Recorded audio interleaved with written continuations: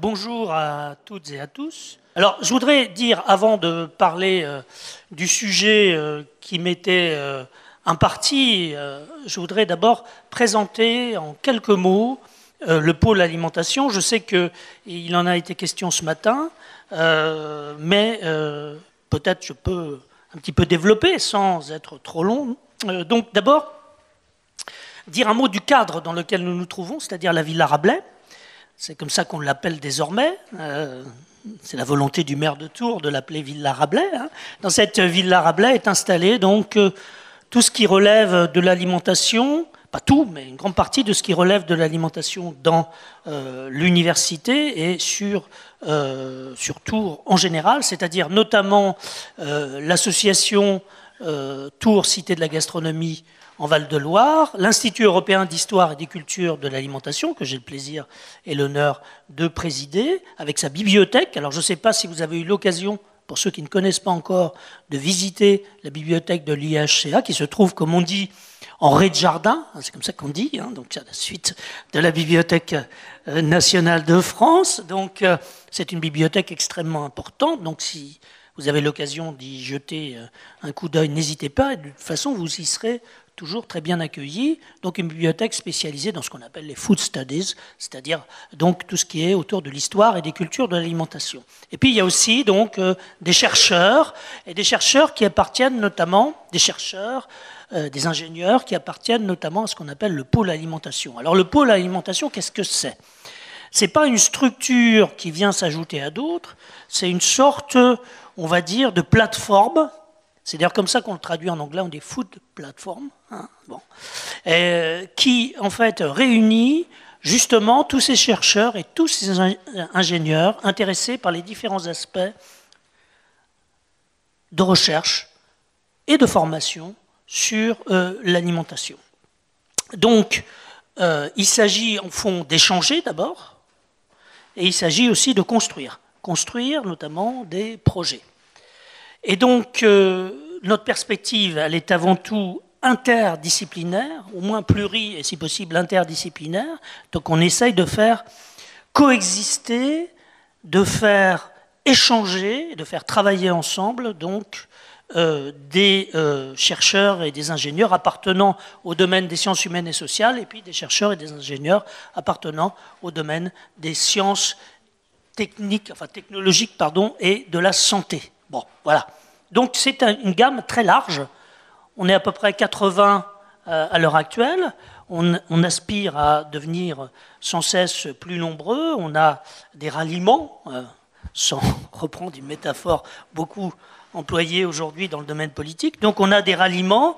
Euh, voilà, donc c'est quelque chose qui marche bien. L'université nous soutient, l'université de Tours nous soutient, puisque elle a décidé de nous allouer des moyens sous forme euh, de bourses de thèse et puis sous forme aussi de euh, possibilité d'accueillir des collègues étrangers. Et enfin, donc une aide pour organiser des journées d'études. Donc il y a trois journées d'études prévues en 2017. Donc celle-ci est la première.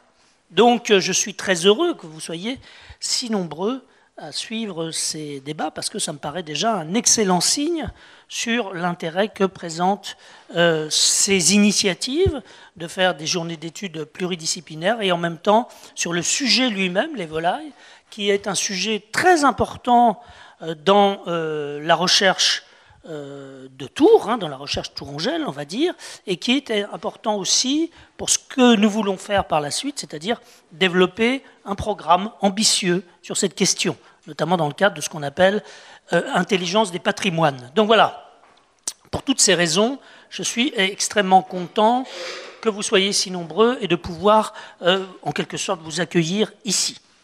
Ceci étant dit, je vais passer maintenant la raison pour laquelle on m'a demandé de parler, c'est-à-dire euh, l'histoire de la consommation euh, des volailles. Donc, où devait aussi intervenir Florent Kellier, mais il est au fond de son lit.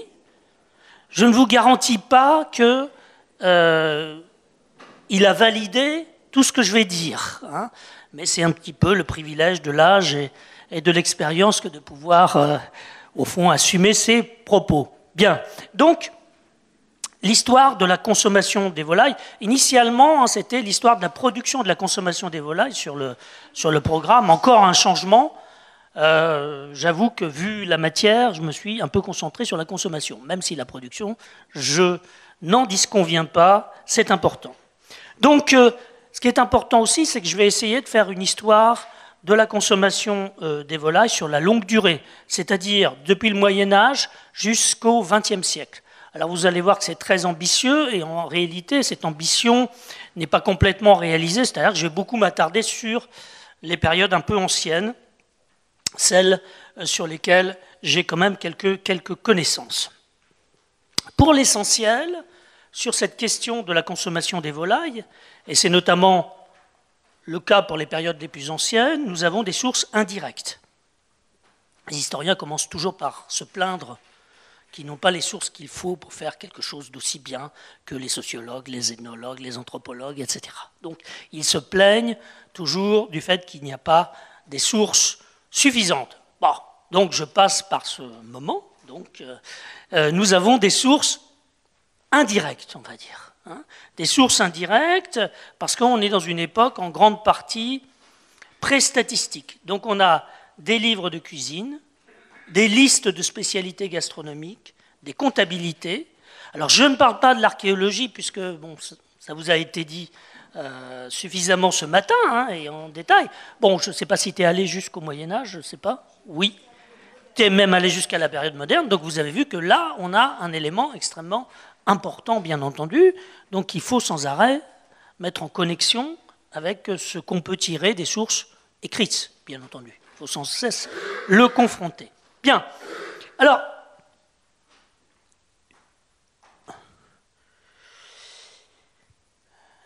ça marche pas. Si, ça marche, ça marche, ça marche. C'était pour vérifier si j'avais mis le plan, mais non. Donc, je vous le dis. Hein. Euh, donc, euh, trois périodes, je vais traiter trois périodes bien marquées, mais je vais les traiter de manière un peu inégale. Premier temps, c'est ce que j'appellerais l'âge d'or des volailles. Je mets la barre haut. Hein. L'âge d'or des volailles, c'est du Moyen Âge au XVIIIe siècle. C'est celui où je vais, pas mal m'attarder. Hein. Deuxièmement, une période où peut-être il faut s'interroger sur un éventuel effacement des volailles. Ça, c'est le 19e et la première moitié du 20e. Et enfin, troisième partie, le retour de la volaille. Donc, voilà un petit peu la perspective un peu simple, voire simplificatrice, hein, qui est euh, la mienne. Alors, d'abord, L'âge d'or des volailles, qui dure de longs siècles, et sur lequel, évidemment, étant donné le temps dont je dispose, et que j'ai déjà sans doute largement entamé, hein, euh, dans lequel je vais faire quand même des simplifications. Donc, pourquoi l'âge d'or des volailles? Premièrement, parce que ces volailles occupent un poids certain dans l'alimentation. Deuxièmement, parce que elle représente une grande diversité. Et enfin, troisièmement, parce qu'elles jouissent d'un statut culturel, on va dire, élevé. Vous voyez, trois parties, trois sous-parties, on ne se change pas. Bien, alors, quelques indices du poids des volailles dans l'alimentation. Il y en aurait euh, bien d'autres. Alors, un premier indice, tout à fait, je les prends un peu de manière disparate, mais c'est un peu volontaire. Un graphique qui représente le nombre d'œufs. Alors vous allez me dire, ce n'est pas les volailles en soi, mais c'est quand même une production euh, liée aux volailles. Le nombre d'œufs qui sont achetés à la cour du pape Paul II en 1465. Alors j'ai dit que c'était un âge pré-statistique, mais on a quand même des chiffres on a la chance de disposer de comptes alimentaires, de comptes d'approvisionnement du pape Paul II pour un certain nombre d'années. J'ai eu la chance de travailler sur ces euh, registre qui se trouve à l'Archivio di Stato de Rome. Et donc, ça permet de calculer très précisément l'approvisionnement de la cour pontificale. Et on voit ici, alors à gauche, vous voyez, c'est le nombre 2, hein.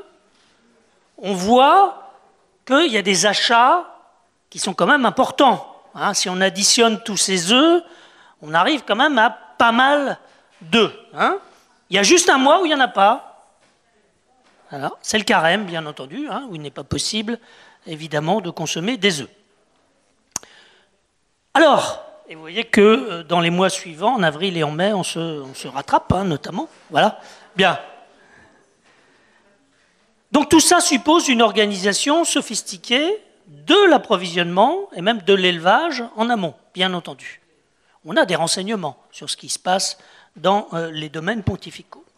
Deuxième indice, le nombre de volaillers, à la fois dans les cours royales ou princières, où ils forment une catégorie à part du personnel de ce qu'on appelle l'hôtel, c'est-à-dire la maisonnée, et aussi dans les villes où ils finissent par former une corporation, hein, celle des euh, volaillers rôtisseurs.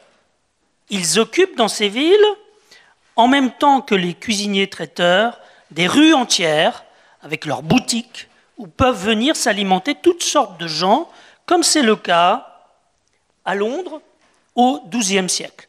Donc là, je vous ai remis le texte latin, j'ai eu la flemme de le traduire, mais bon, voilà, on va vous, je vais vous dire un peu là, vous voyez, il y a une flèche qui vous mène directement au terme essentiel, avium, avicularum, donc des oiseaux et des oiselets, si vous voulez. Hein. On est dans un terme qui désigne les volatiles. C'est très important, il faut que vous compreniez ça, que pour le Moyen Âge, euh, il n'y a pas une distinction très nette entre les volailles et le gibier les disons. Hein. il y a un continuum dont on reparlera à plusieurs reprises.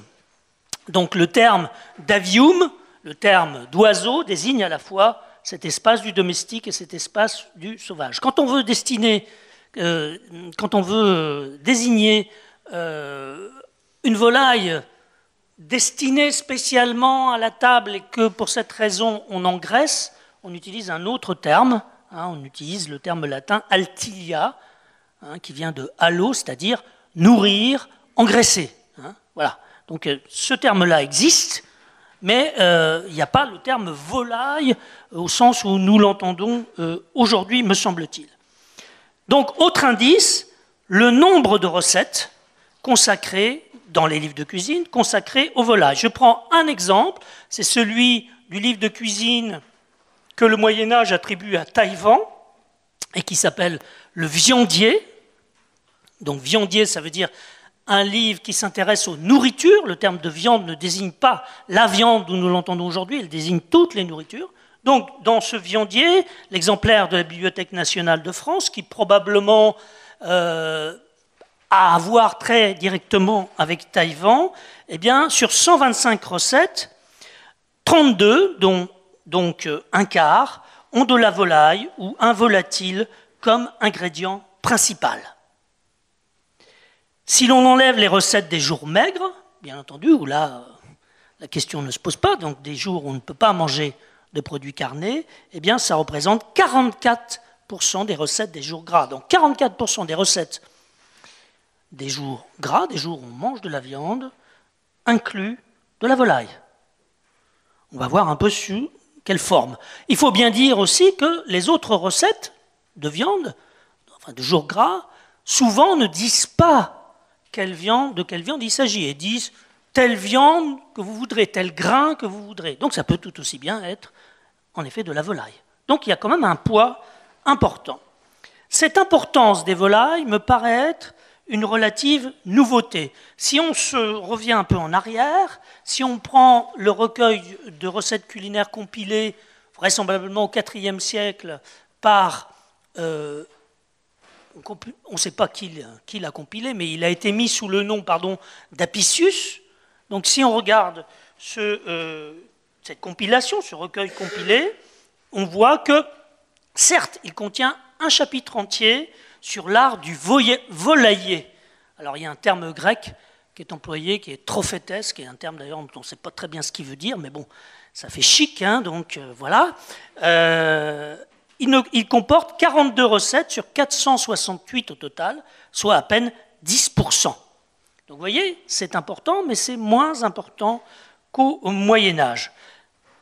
Il mentionne 15 espèces de volailles volatiles, dont l'autruche et le flamand, donc on ne s'attend pas nécessairement à trouver, à l'image d'un empire romain qui domine toute la Méditerranée, bien entendu. Bien. Parmi ces espèces, ce sont les canards, à égalité avec les grues, et surtout les poulets, qui font l'objet du plus grand nombre de préparations. Voilà. Donc ça, c'est une sorte de point de départ, on va dire.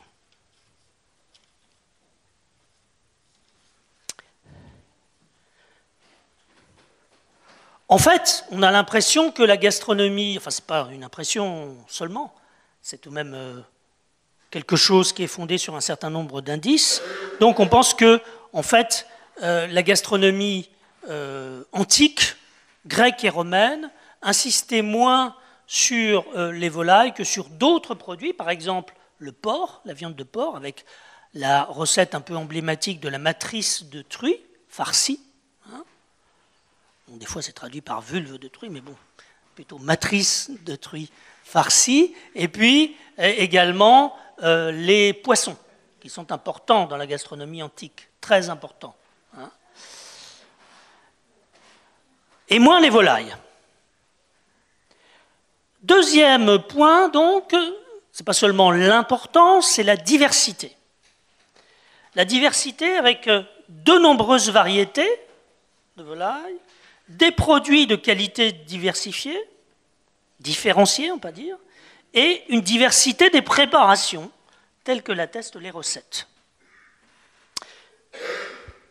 Alors, euh, de nombreuses variétés. Gardons en tête qu'il existe alors, comme dans l'Antiquité, un certain continuum, je l'ai dit, entre les espèces sauvages et domestiques, en passant par des espèces simplement apprivoisées. L'exemple bien connu, c'est le pan, hein, dont la chair est alors hautement recherchée.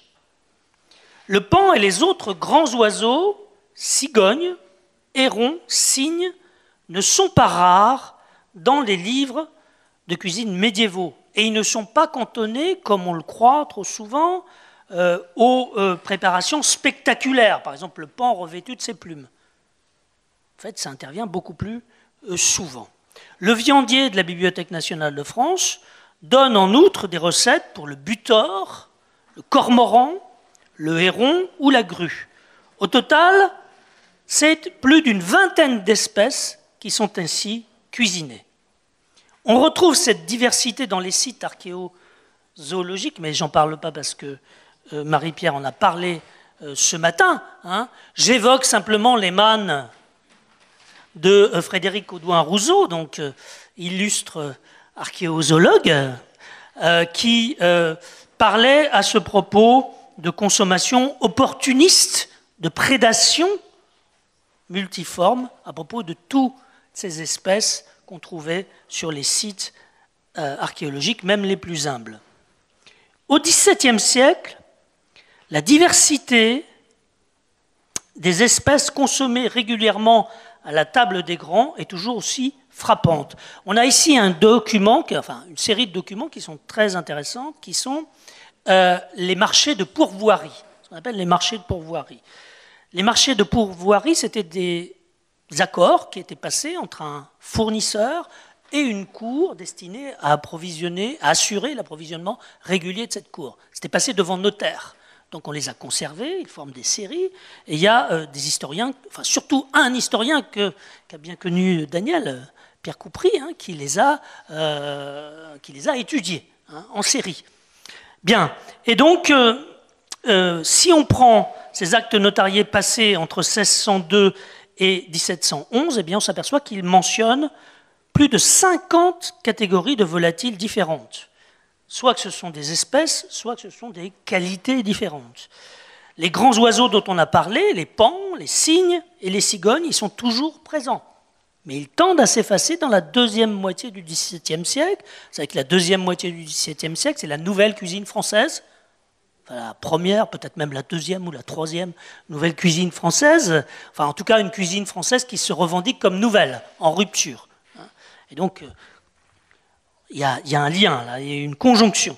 Donc, ils tendent à s'effacer dans la deuxième moitié du siècle. Ils sont rejoints par la dinde, qui est fraîchement, comme vous le savez, arrivée d'Amérique, et qui connaît alors un succès durable. Au XVIIIe siècle, cette grande diversité de volailles, on la trouve aussi dans les documents plus généraux, par exemple, qui concernent l'approvisionnement d'une ville comme Paris. Donc là, on a une sorte de calendrier, si vous voulez, des arrivages de volailles sur le marché parisien, qui est tiré de la thèse de Reynald Abad.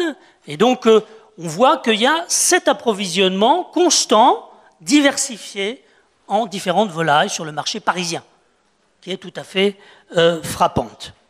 La qualité n'est pas top, mais comme j'ai toujours pas l'habitude de prendre des photos euh, convenables, voilà. Bien. Donc, de nombreuses variétés. Première remarque. Deuxième remarque, des produits de qualité très différenciée. D'abord, la présence des volailles dans les listes de produits réputés. C'est un premier indice. Les listes gastronomiques du Moyen Âge mentionnent les, euh, les volatiles, les volailles. Euh, ici, vous avez une de ces listes, j'ai appelé ça la liste cachée, parce que, en fait, c'est une liste de toutes les spécialités gastronomiques ou non de telle ou telle région ou de telle ou telle ville.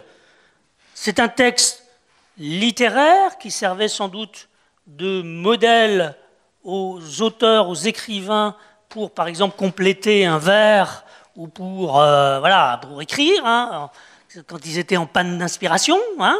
Donc c'est des sortes de dictons, si vous voulez, ou de locutions, on va dire, hein, proverbiales, et là, j'ai sélectionné celle qui concerne, donc là, c'est du, euh, vous voyez, c'est de l'ancien français, hein, on est au XIIIe siècle. Hein. donc, euh, j'ai gardé ça dans sa saveur d'origine. Et je vous ai sélectionné trois produits, trois volailles euh, qui sont cités. On cite beaucoup de poissons. L'autre jour, j'ai fait un exposé sur le poisson d'eau douce, il y en a beaucoup qui est cité ici. mais on cite également trois volailles, ou volatiles si vous voulez. Donc, deux relève de la région, loi de Beauce, hein, et également la perdrix de Nevers. Et je vous ai aussi indiqué, parce que ça, ça évidemment, c'est cher à mon cœur, hein, les chapons de Loudun. Donc, euh, qu'en tant que Loudunais d'origine, je vénère, quoique on n'en sache pas beaucoup plus sur eux hein, dans les autres documents. Donc là, il y a quelque chose qu'il faudrait sans doute travailler qui ne l'a pas été. Voyageurs, médecins et écrivains de la Renaissance et du grand siècle attestent ce goût persistant pour les volailles, et notamment les volailles engraissées. Au XVIIe siècle, c'est le chapon et la poularde du Mans qui semblent avoir la cote.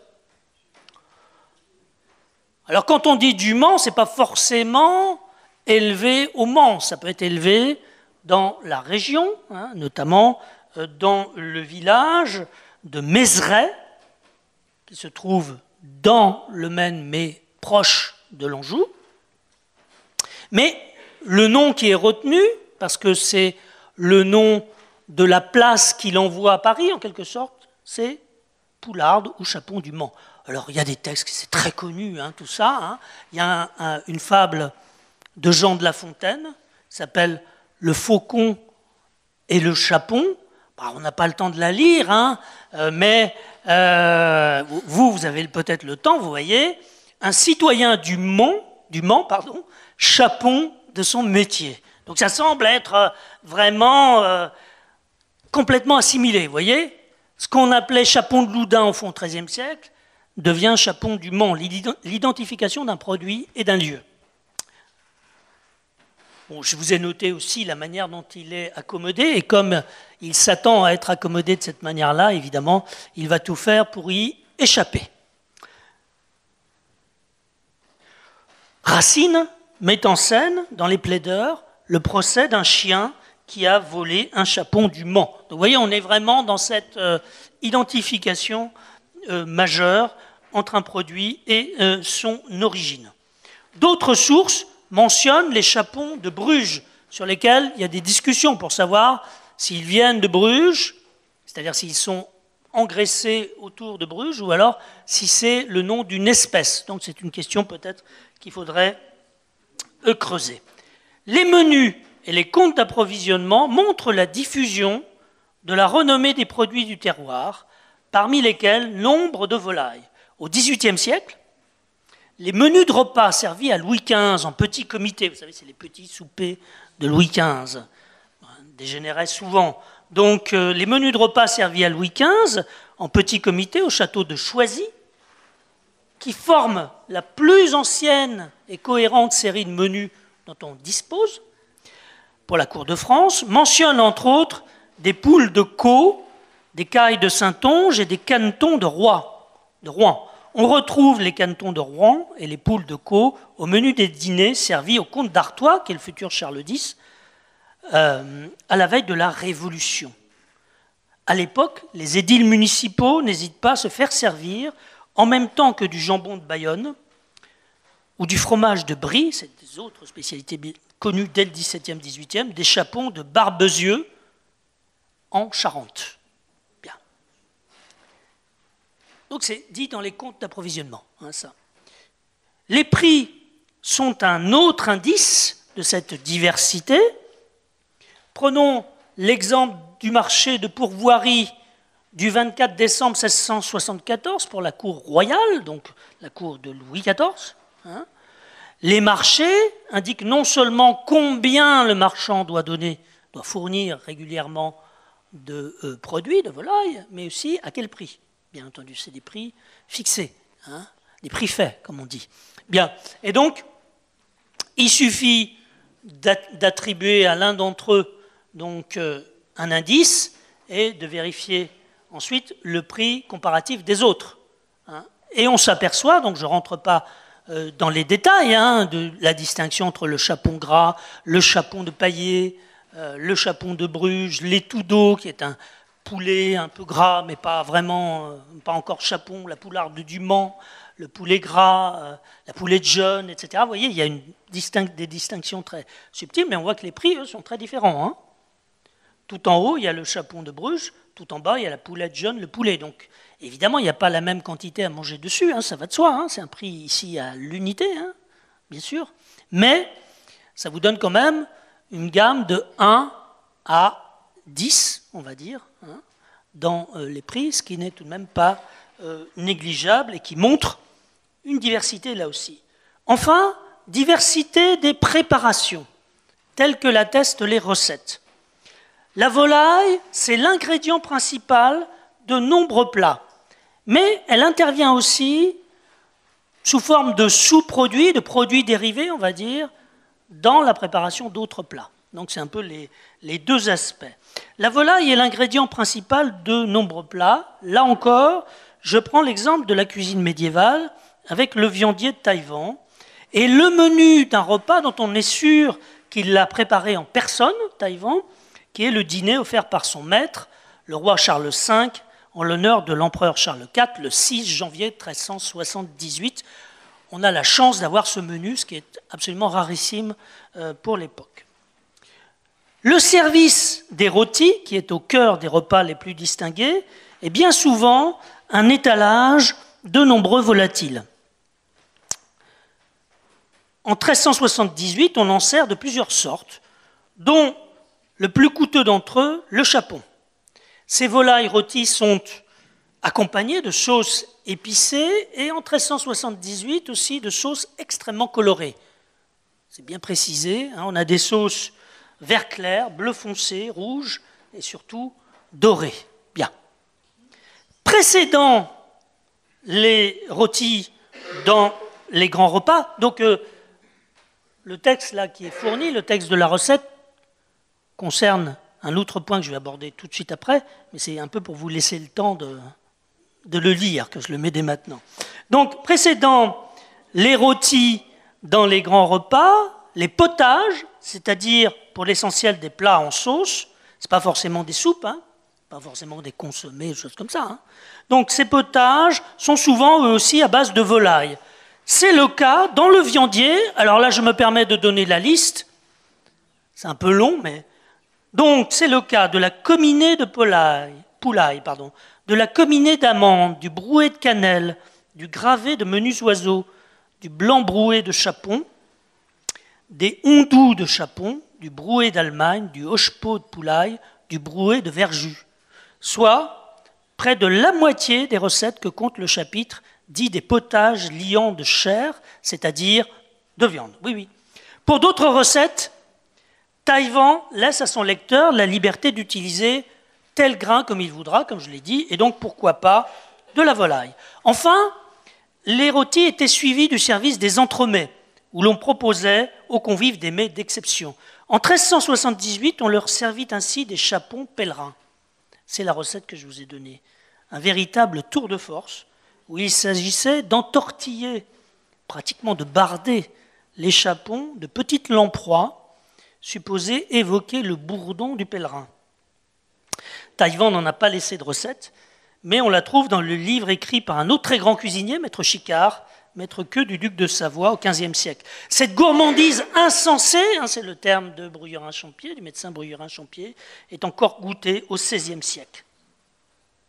Les volailles entrent, mais je vais aller assez vite là-dessus, les volailles entrent également sous une forme dérivée dans de nombreux autres plats, dans des farces, par exemple les farces de pâté qui sont très nombreux à l'époque, et également sous forme de bouillon dans la cuisine, on va dire, ordinaire, et notamment celle qui est prévue par les cuisiniers pour les malades. Donc, euh, on sert à cette occasion du coulis de poulet, de l'eau rose de chapon ou de poule, ou encore du blanc manger de chapon. Je remarque qu'aujourd'hui encore, il arrive qu'on recommande aux malades de se contenter de bouillon, de volaille. Euh, on peut s'interroger pourquoi, hein, euh, sur les raisons fondamentales. Ça, c'est lié au statut élevé de la volaille, qui euh, vient d'une conception qu'on a l'habitude de résumer en disant la grande chaîne de l'être, c'est-à-dire tout les produits végétaux comme animaux peuvent se distribuer sur une échelle verticale et hiérarchique qui, va de la terre au ciel. Ça veut dire que plus on est près du ciel, eh bien plus on est près de Dieu, tout simplement. Hein. Et cette nourriture qui est en hauteur, c'est la nourriture aussi qui correspond aux classes sociales les plus élevées. Donc vous voyez, ça veut dire qu'au Moyen Âge, on considère que la viande des quadrupèdes, n'est pas une viande raffinée, c'est plutôt une viande de paysan. Et dans les fêtes, c'est souvent des animaux de réforme qu'on euh, sacrifie pour euh, cette viande-là. En revanche, la viande des volailles est considérée comme la plus recherchée, la plus noble, la plus distinguée. Donc là, on est au cœur euh, des problèmes, hein, on est au cœur de ces questions-là. cette nourriture qui est celle des volailles est une nourriture aussi qui, du point de vue de la diététique médiévale, ce qu'on appelle la diététique des humeurs, qui est fondée sur l'idée que euh, à la fois le corps de l'homme, l'univers qui l'entoure, donc le microcosme et le macrocosme, sont un composé de qualité première de température et d'humidité qu'on retrouve dans les aliments et qui doivent donc servir à assurer la santé, à combattre la maladie. En vertu de cette idée, l'humeur chaude et humide qu'est le sang, qui transporte les autres et qui est de loin la plus importante, doit être la plus recherchée et les volailles sont précisément dans cette catégorie. Donc, ça tombe bien, hein et ça renforce évidemment cette position. Alors, sur le reste, du coup, comme il me manque de temps, euh, et surtout peut-être parce que je n'ai pas toujours les compétences, sur euh, euh, les autres moments, je serai peut-être plus, plus rapide, sur cette période d'effacement des volailles, que je crois quelque chose d'assez important au 19e et dans la première moitié du 20e siècle. Je crois qu'on peut... Ça ne veut pas dire que les volailles disparaissent totalement. Hein, évidemment de l'alimentation, mais qu'elles sont plutôt connotées, contrairement à ce qu'elles étaient auparavant, elles sont plutôt connotées nourriture populaire paysanne, faisant l'objet de l'autoconsommation. Donc ça, c'est un point qui me paraît euh, assez euh, important. Là où on en mangeait peu dans le monde paysan auparavant, avec l'élévation du niveau de vie, c'est exactement ce que nous explique ici Roland de Bonin, avec euh, cette élévation du niveau de vie, eh bien, on en consomme davantage dans les milieux paysans. Cet effacement des volailles euh, va de pair avec une montée en puissance de la viande de boucherie, dont on sait qu'elle est très consommée hein, euh, à partir du 19e siècle jusqu'à l'apogée qu'elle va connaître au début des années 70. C'est un mouvement qui commence précocement, hein, dès le XVIIe siècle, mais qui va s'accentuer au XIXe siècle. Donc je n'ai pas le temps d'en parler en détail. Hein. Euh, signalons tout de même que peut-être, et sans vouloir euh, vexer personne, euh, ce moment est aussi un moment où on a une production, alors là plutôt pour les urbains, de volailles intensive, qui se fait peut-être au dépend de la qualité. je prends la chanson de Jean Ferrat, bien connue, je ne la chante pas, je pourrais, mais je ne la chante pas. Hein. Donc, euh, la montagne, vous avez cette, euh, mise en parallèle volaillère hein, euh, entre les vieux, qui savent tous à propos tuer la caille ou le perdreau, donc là on est dans le gibier, bien entendu, et puis leurs enfants, ceux qui sont allés en ville, vous savez, pour euh, avoir une carrière de flic ou fonctionnaire, c'est exactement ce qu'il dit, hein, et que euh, eux vont manger leur poulet aux hormones dans leur HLM. Donc je n'ai pas le temps d'aborder euh, ces questions-là, évidemment, qui sont importantes. Donc le retour de la volaille, c'est la troisième période.